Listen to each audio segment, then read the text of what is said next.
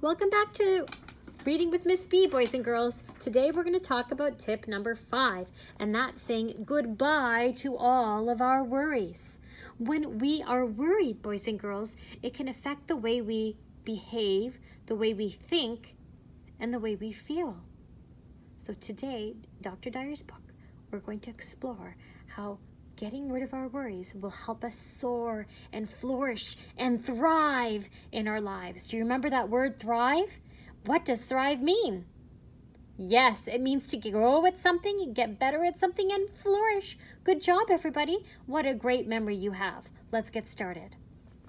Number five, farewell to worry.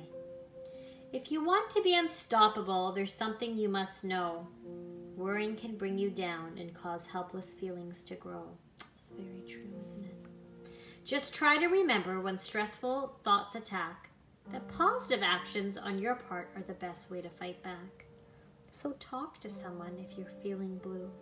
Tell them about your thoughts because sharing your burdens can help you through many of life's rough spots.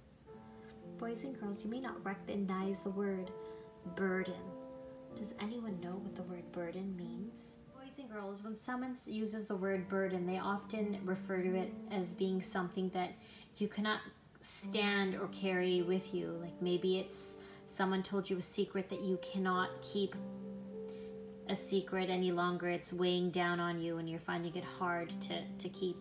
That's an example of a burden, something that weighs you down or that you can't carry by yourself.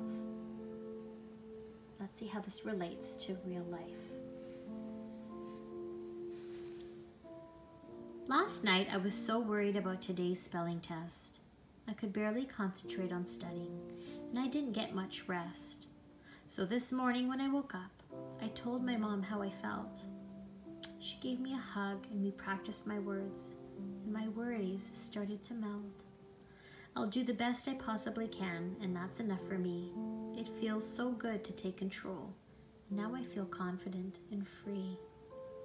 There is an example of letting go of a burden and letting go of some worry and sharing your burden or worries with others. Has there ever been a time where you've worried, worried about something or you've had a burden that you can't keep? Who did you share it with? What was it? What did you do to help you with that worry? Write about it in your journal. Today's question is Worrying is something we all do from time to time, but it doesn't really help anything.